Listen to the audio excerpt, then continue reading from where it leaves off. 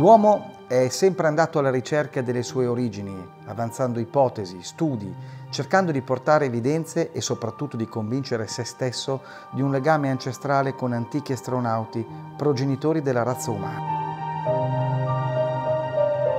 È ineludibile che noi terrestri siamo stati avvicinati, accompagnati nella nostra evoluzione da qualcuno certamente più progredito spiritualmente e tecnologicamente rispetto alla nostra razza. Anatemi, scampati cataclismi, il mille non più mille,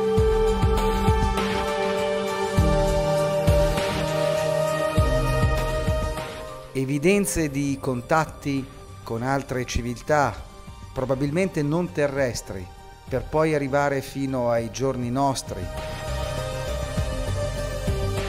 passando attraverso appatti scellerati, con le ultime rivelazioni di un imminente contatto orchestrate ad hoc nei corridoi dell'ONU.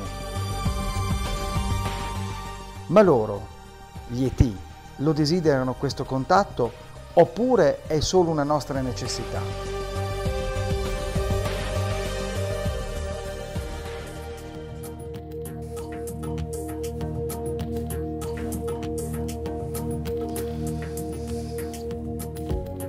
Questo documentario avremo modo di conoscere svariati personaggi, scienziati, scrittori, liberi ricercatori, registi cinematografici, uomini di fede e gente comune che ho incontrato sul mio cammino di ricerca. Ognuno di loro ci racconterà il proprio vissuto, le ricerche che ha effettuato, ricerche che talvolta arrivano da lontano, come quelle del biblista Mauro Biglino.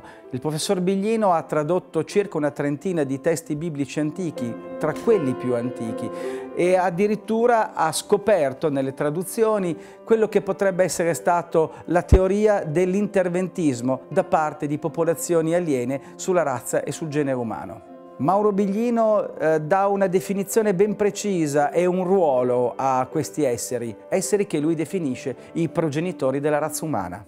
Sono arrivati qui, hanno trovato, si sono scelti un territorio, l'hanno modificato per il loro utilizzo e poi a un certo punto si dice che decidono di fare la DAM e lo fanno ci, dice, ci dicono le traduzioni, a loro immagine e a loro somiglianza. In ebraico c'è scritto che lo fanno a loro somiglianza con quel qualcosa di materiale che contiene la loro immagine, che è diverso di a loro immagine, ma fanno l'Adam utilizzando il loro Zelem, così dice la Bibbia.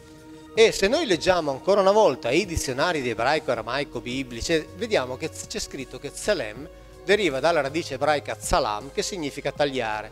Per cui Tselem è quel quid di materiale che contiene l'immagine e nei dizionari americani c'è scritto something cut out, un qualcosa di tagliato fuori. Ora, che cos'è quella parte fisica che contiene l'immagine e che può essere tagliata fuori e utilizzata per produrre il DNA. L'unica spiegazione rimane quella di considerare Eva mitocondriale. Eva mitocondriale è un nome, è un nome che i genetisti danno alla prima Eva sapiens e Adamo cromosomiale Y come cloni prodotti in molti esemplari. Solo un numero adeguato di femmine e maschi geneticamente uguali fra loro avrebbe potuto trasmettere con successo i genotipi unici e caratteristici propri del genere umano. Cominciano a scriverlo i genetisti. Questo è ciò che ci descrive la Bibbia. Eva è un clone, femmina è un clone del maschio Adamo. E ci dice anche come, da dove hanno preso le cellule, dalla cresta iliaca. Gli Elohim di cui stiamo parlando sono collocati in un luogo ben preciso, sono vicini all'Egitto. Ma allora questi Elohim nella Bibbia ci dicono da dove arrivavano? No. Purtroppo non possiamo no. supporlo? Allora, in uno dei miei libri ho dedicato un capitolo non alla possibile origine degli Elohim perché proprio non c'è nessun elemento. Ma la possibile origine di un'altra razza che è citata nella Bibbia, che è quella dei Nefilim, che sono quelli tradotti come giganti. Appunto, Nefilim viene, già dai greci veniva indicato come gigantes, cioè i giganti.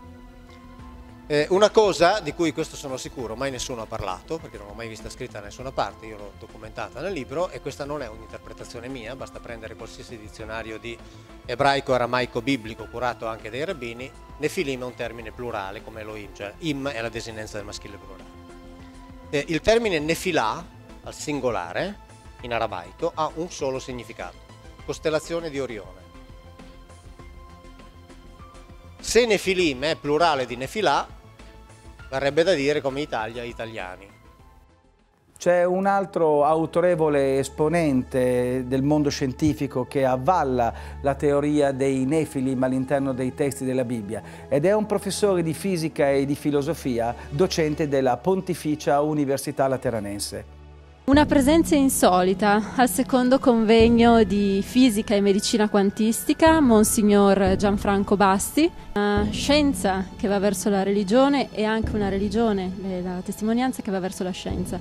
Lei ha fatto parte appunto dell'Istituto Nazionale di Fisica Nucleare e ha collaborato anche con l'Agenzia Spaziale Italiana. Sono passi nella Bibbia, per esempio se prendiamo i primi capitoli del Genesi in cui si parla dei giganti, no? questi, quindi da sempre è stato ipotizzato che sono enti extraterrestri con cui è, l'uomo è entrato in comunicazione nei primi anni, nei primi, eh, nel primo periodo della sua era, addirittura nell'evoluzione sua e del cosmo, quindi cioè, ci sono queste possibilità. Ascoltiamo bene i passaggi delle traduzioni. Addirittura si parla di armi ad energia che disponevano queste popolazioni extraterrestri.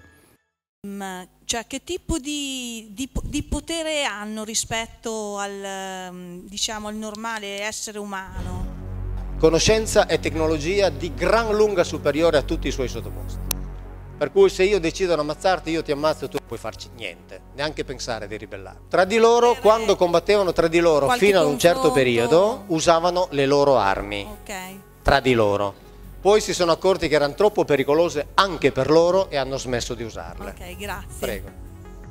Ma quali erano queste famigerate armi ad energia?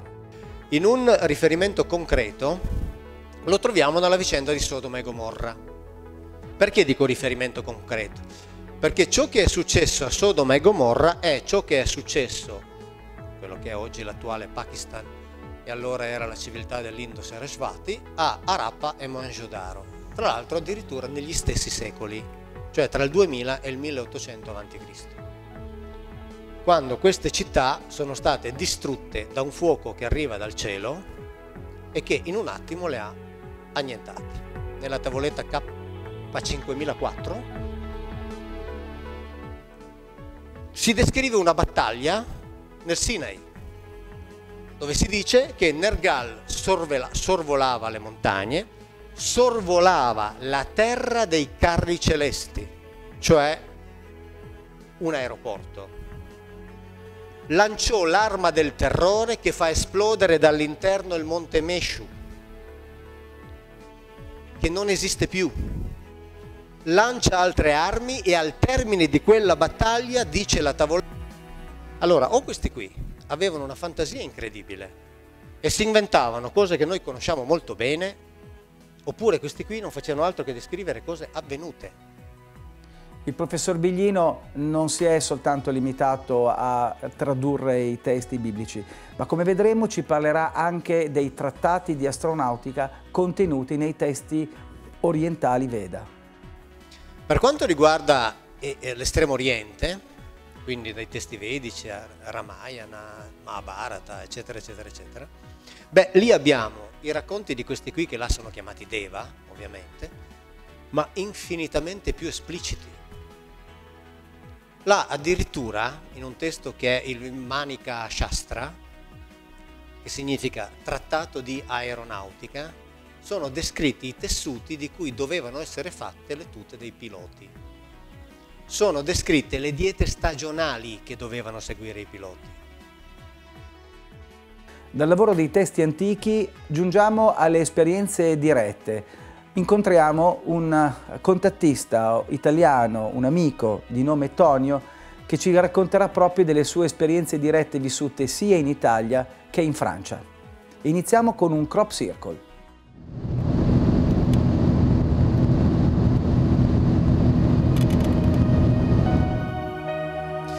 È il 12 giugno del 2010 quando in quella zona dove Antonio ci sta indicando, vicino a quei pali dell'alta tensione, si sviluppa un crop circle, un cerchio nel grano, eh, tra l'altro per due terzi sulla collinetta e un terzo, se mi ricordo bene, sulle tue proprietà. Antonio, ma quella notte cosa è successo esattamente? È successo delle cose strane, ho avuto delle sensazioni strane che alle tre in punto di fatti ho dovuto alzarmi perché sentivo un silenzio surreale, faceva caldo, le finestre erano aperte, non si sentiva nessun rumore di niente, niente. E non ho notato niente di particolare, però questo silenzio, sono stato alzato, girovagato, girovagato un po' e questo silenzio è durato fino alle 4 e 5 Dopodiché tutto è ripreso normale, i suoni erano normali o cosa. Non ho capito cosa fosse successo, mi sono rimesso a letto, poi al mattino rientro del campo e non ho trovato una traccia umana che fosse entrata. Perciò era impossibile se non si entrava da qualche parte. Tu avevi già avuto delle notizie riferite ai cerchi nel grano, ai crop circle, cioè tu eri già a conoscenza di questo? Erano tre anni che li facevano in questa zona, però io non li ho mai, non mi sono mai interessato di niente.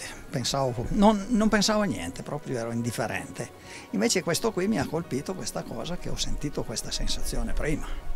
Eh, ci avevi raccontato che una persona, rincasando una persona che stava lavorando appunto in un locale pubblico, nel rincasare ha visto qualcosa. Delle sfere colorate. Più di una persona hanno visto queste cose, che si è poi saputo dopo che l'hanno detto che hanno notato su quella collinetta queste sfere luminose, però anche loro è stato lì, poi l'hanno poi collegato quando è successo il fatto.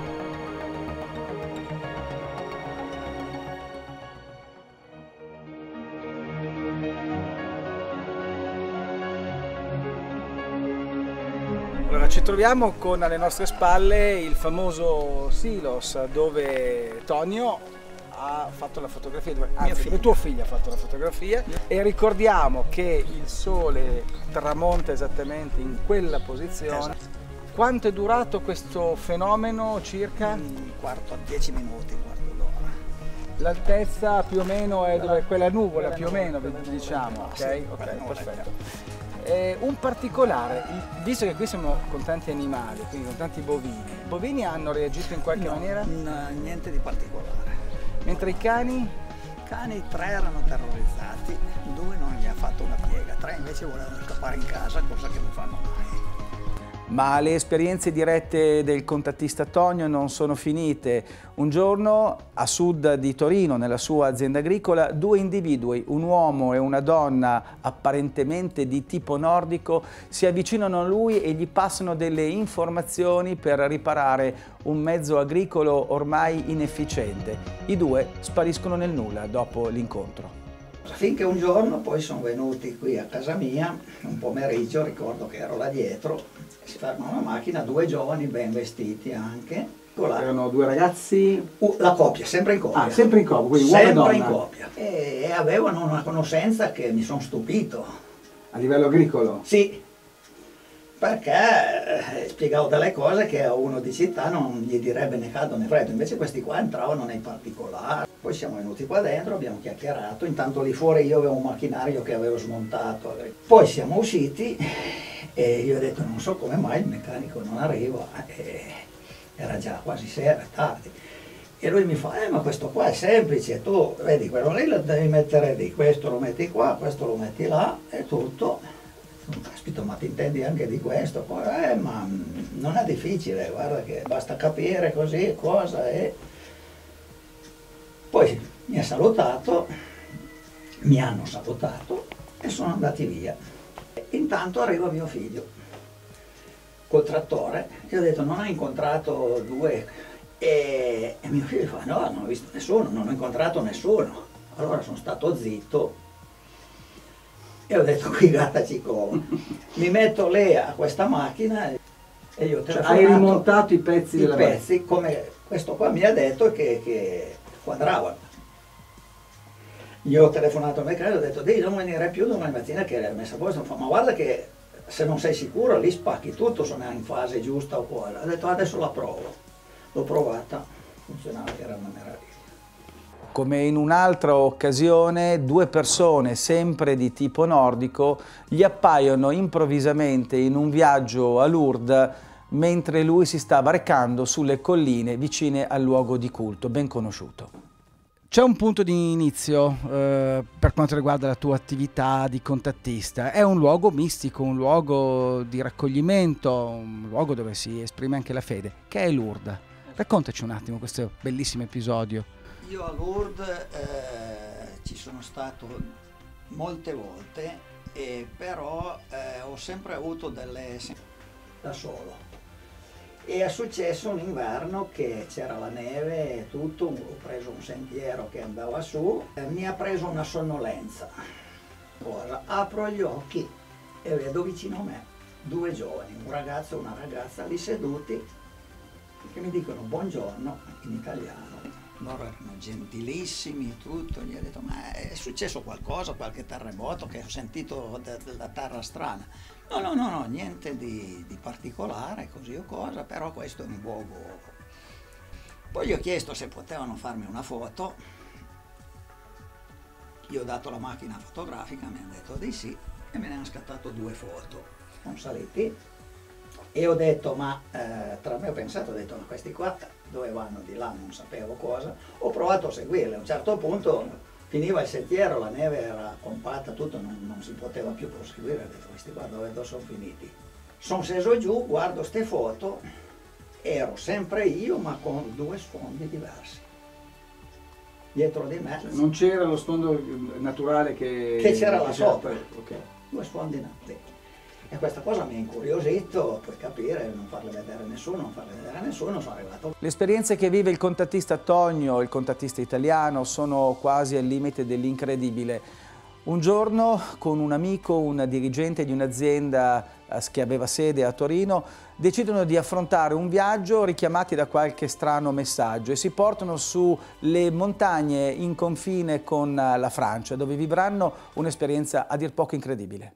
Antonio ha un contatto questa volta diretto mh, con un- non soltanto delle entità, perché fino adesso Tony abbiamo parlato di entità, ma questa volta hai un contatto diretto anche con... Ci puoi dare qualche indicazione? Qui ci riferiamo sempre alla Val di Susa. Questo episodio quando è accaduto? Era inizio ottobre eh, del 2011 circa. Attraversando il valico eh, ci ha sorpresi una tormenta di neve pazzesca perché girandoci indietro vedevamo la Val di Susa che brillava di un cielo sereno e tutto e lì nevicava una cosa pazzesca. Abbiamo proseguito un po' finché non si poteva più andare oltre e intanto che ero lì ho visto una scia arancione ma non ho detto niente. Mio amico continua ancora un po' e poi si ferma e mi fa guarda là davanti e c'era una cosa spettacolare. Sopra di noi c'era come una... una, una, una-. Io sono sceso in manica di camicia nonostante nevicava, sono avvicinato e però a un certo punto eh, mi è venuto da vomitare, lì occorre. E una voce dentro di me che ho capito che veniva da quella e mi ha detto non avvicinarti troppo perché non sopporti l'energia. Di lì siamo andati in questa casa di questo mio amico che è lì a pernottare e, e abbiamo dormito lì tutta la notte molto tranquillamente che però nella notte io ho avuto tante cose che, che- come un risveglio di, di diversi messaggi di, di- di cose che prima non sapevo e che poi dopo le sapevo. Il giorno dopo siamo partiti siamo venuti a casa. E poi ci siamo accorti che era lunedì mattina non domenica. La comunicazione è una cosa importante. Tonio, durante questo incontro, sentiva il passaggio telepatico delle informazioni che queste presunte entità aliene gli stavano trasferendo, ma ci ha anche detto che il linguaggio nell'universo si basa sui simboli e sui colori. Ci puoi parlare un attimo di questi messaggi che vediamo a questa parete? Se sono collegati a quello che ti viene Sì, riferito? sono collegati messaggi, con- esseri di altre dimensioni. essere di altre dimensioni. Allora, questo me l'hanno fatto fare in una sequenza che era con la quinta dimensione, l'alfabeto della quinta dimensione. Cosa succedeva? Balza l'occhio una cosa interessantissima. L'alfabeto della quinta dimensione è eh, sostanzialmente espresso da dei simboli. L'alfabeto della sesta dimensione, pur riportando quei due quadranti, è molto più sul colore, sulla luce. Esatto. Quindi sembra che ci sia anche un passaggio, un'evoluzione dalla quinta alla sesta come c'è dalla quarta alla quinta i gradini sono sempre uguali tra l'altro quelli, quelli, che vediamo in alto della quinta dimensione ricordano vagamente anche dei simboli non dico cuneiformi ma qualcosa che ci può riportare esatto. ai geroglifici egiziani esatto, esatto. ancora antecedente ai cioè, geroglifici più o meno la datazione che tu hai avuto dai, come... eh, dai, do, eh, 12, dai 12 ai 13 mila anni, anni fa. fa ok 12 13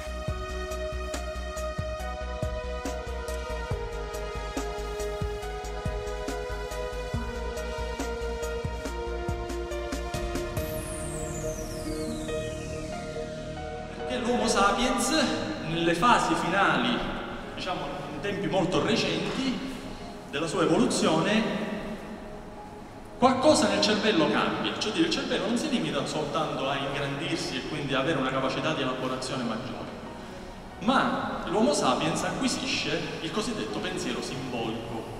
Cos'è il pensiero simbolico? È la capacità che noi possediamo di costruire simboli mentali che ci permettono di andare oltre la realtà del visibile. Quindi stiamo attenti perché è successo qualcosa di strano, di anomalo, eh, perché solitamente l'organismo è sempre legato al suo ambiente. In questo caso noi siamo, invece ci siamo dotati di una caratteristica che ci svincola dall'ambiente che vediamo e ci consente di concettualizzare l'infinito e il trascendente di tutto questo, cosa che non esiste in natura, non esisteva neanche in Neanderthal, il nostro più vicino, diciamo, mh, parente, cugino, evolutivamente parlando. Homo sapiens acquisisce questa caratteristica recentemente, non si sa con quali modalità, qualcosa cambia a livello del DNA, del genoma di qualche ominide, ok? Non si sa cosa, Abbiamo parlato di evoluzione della coscienza. Ci stiamo preparando a un salto per la nuova dimensione? Forse sì. È quanto afferma il regista cinematografico Frank Jacob, autore tra l'altro del film Packing for Mars che abbiamo eh, incontrato lo scorso anno. Essentially, what's taking place is in the center of our galaxy is a black hole in an area called Sagittarius A. And for the last few years, there's been a massive body, uh, a, plasma planet, that has been uh, sucked into this black hole. And the result is that there's been a massive explosion or implosion, explosion simultaneously that has pushed a lot of energy at our planet. And because of the way the alignment is of the galaxy, our Earth and our Sun and our solar system are getting much more of this directly than it ever has. Now, the Mayas talked about the, the cosmic ray from the center of the, of the galaxy, and it's interesting that they would maybe know about it or even have tech, uh, terminology about it, but it is indeed happening, and, and coupled with the Earth's weakening magnetic field, the, these new cosmic energies are actually affecting uh, the biochemistry of humans. Um, in particular, the pineal gland, which resonates at a very similar frequency as the resonant frequencies coming into our planet. Now, it all plays like a giant harp where the resonant energies are banging off the magnetic field of the Earth. These magnetic field, the Schumann resonances are beginning to vibrate stronger, and these are beginning to affect. Uh, we found through biochemistry that uh, and biophysics that the human heart and the human organism also vibrates at similar frequencies. So there's a resonant uh, transmission, just like when you when you bang uh, a tuning fork and you put it beside another tuning fork, the second one will begin to vibrate in the same frequency. So we are. This is how the information transfer is happening. It's not happening because we have to think about it. It's happening because we're actually resonating with the universe, with the core of the universe. Ma l'ipotesi terrestre dove l'abbiamo lasciata. Hai avuto però un'indicazione da dove arrivano queste entità, esattamente da quale punto della, del cosmo? Con me sono della costellazione del Pavone. Precisamente ho avuto dei contatti con quelli del pianeta Iron. Iron? Iron Malailunga, eh? Ok. Iron Ferro. Sì, ok. E questi qua del pianeta Iron sono prevalentemente, eh, cioè tutti, tutti terrestri che hanno fatto carriera. Eh, l'escursus eh, incomincia a, prendere un po' forma. Eh, mi piacerebbe utilizzare questo termine, mh, da, quello, da quello che ho capito, extraterrestri e non tanto extraterrestri, ma extraterrestri che sono nati ad abitare in un'altra dimensione, in un altro pianeta e da lì eh, riescono ad interagire con noi. E da qui anche un po' la definizione di tutte eh, le razze che eh, si studiano, che abbiamo anche come eh, evidenza a livello proprio di, di, di, di, bibliografia o comunque di ricerche. Quindi possiamo definire anche che sono, si potrebbe definire che sono anche così, degli ex terrestri che ritornano nella nostra dimensione. Tra l'altro c'era stato anche un episodio di Star Trek su questo ritorno alla Terra.